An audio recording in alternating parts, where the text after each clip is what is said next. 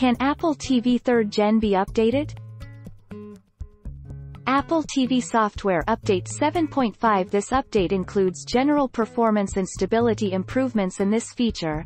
Control your Apple TV from Control Center. You can now control your Apple TV 3rd generation from Control Center on all of your iOS and iPad OS devices.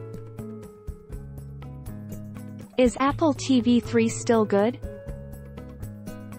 The Apple TV 3 is perfectly fine for casual streaming of shows and movies on Netflix and such, but if you're wanting anything more than that, then the Apple TV 4 or 4K is worth buying.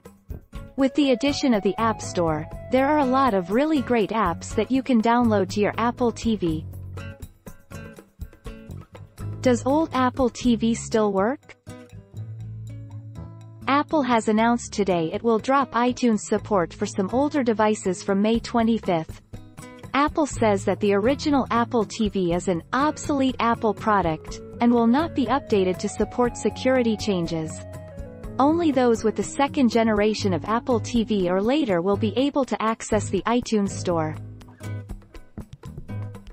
What can Apple TV 3rd Gen do?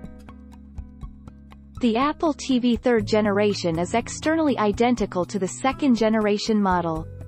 It includes a single-core A5 processor and supports 1080p content from iTunes, YouTube, Flickr, Netflix, and other services. The Apple TV third generation was primarily a feature upgrade to the previous generation. Can I get Disney Plus on third generation Apple TV? Will there be an update with the Disney Plus app eventually?